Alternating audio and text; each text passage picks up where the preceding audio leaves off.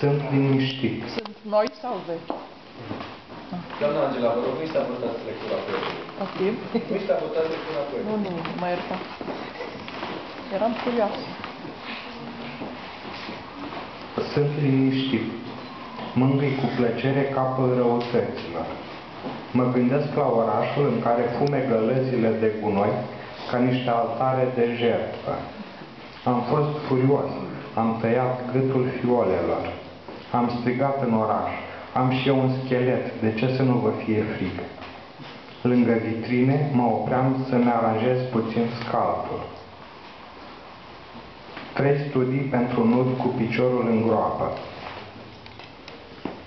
1. Viața omului atârnă de un fir de păr. Îmi aduc aminte aproape în fiecare seară, scoțând cu degetele un păr lung și negru din farfuria cu mâncare. 2. Azi m-am plimbat prin azil și am cules un buchet de ciorapi. Vai, sunt atât de plăpânzi, spune femeia înduioșată și îi pune repede în apă să nu se ofilească. 3. Întotdeauna când vorbesc despre frumusețe, o femeie goală se așează sfioasă lângă un stomac gol.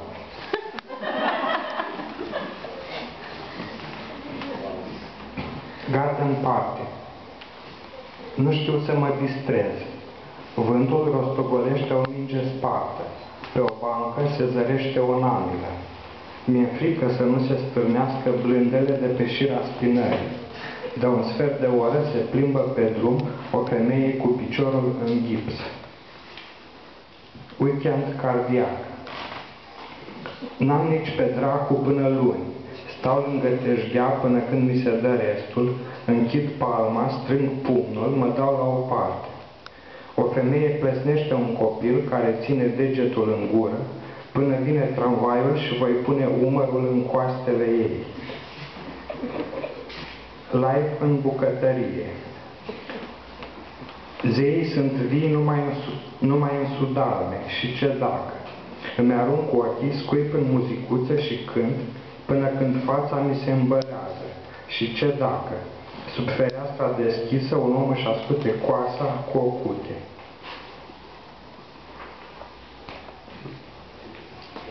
Tediu în vite.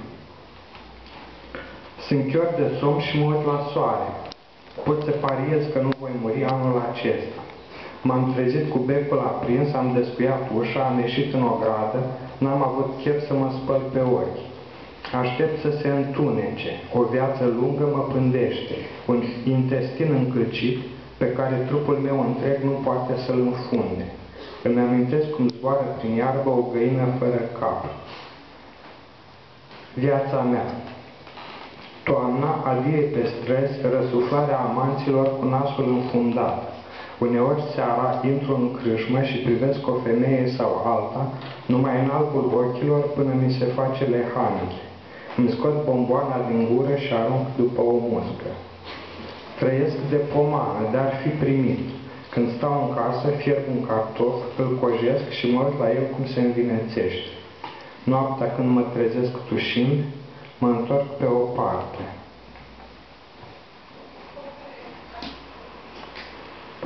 Va urma. Nu mai pot de frig. Am deschis geamurile ca să nu arunce la noapte cu pietre și să le spargă. Azi m-am întors târziu. Pe o stradă se spărsese o țeavă de canal și m-am oprit acolo să mă dau pe gheață. Acum stau în pat și mă uit la casa de peste drum. Ziua când treci prin fața porții deschise, un copil își îndeamnă câinele să te muște. Sfârșit. Mă dezvelesc și mă ridic de pe saltea, mă întind și apuc dulia și cuprind becul cu un capăt al fularului de la gât și îl învârt și îl sting.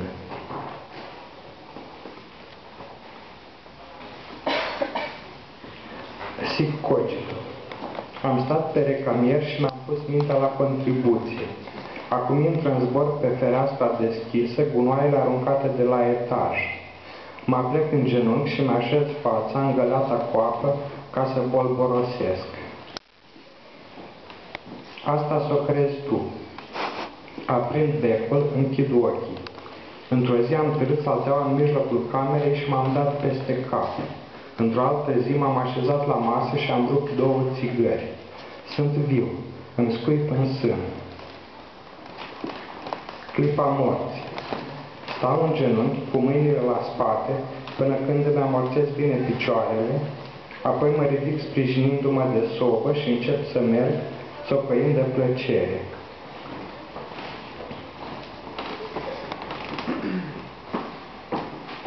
Arsamandi. Mi-am închis făcile cu mâna și mi-am vârât pe rând vârful limbii în toate spărturile din măsele. Atunci ai întins mâna și ai început să-mi încălcești părul, apoi totul în jur s-a acoperit de mătreață.